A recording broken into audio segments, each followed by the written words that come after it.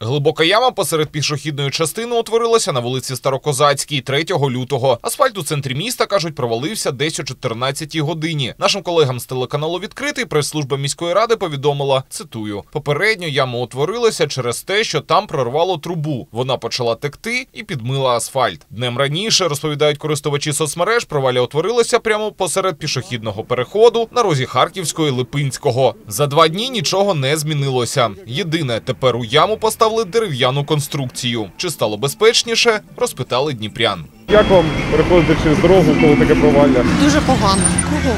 Кругом?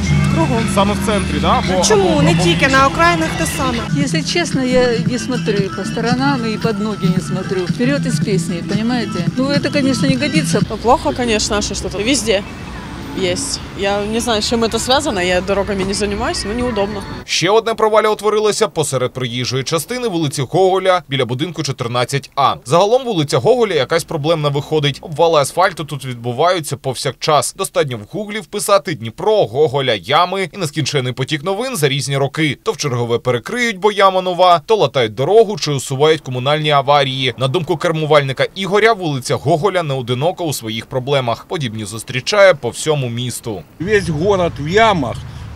Честно, ездить некак. Колеса пробиваем. Вчера пробил колесо 250 гривен ремонт. Кто отдаст? Станом на четвер аварію на Старокозацькій комунальники усунули, провалля засипали. В чому причина інших ям? Питання. Аби дізнатися, направили запит до міськради. Чекаємо на відповідь.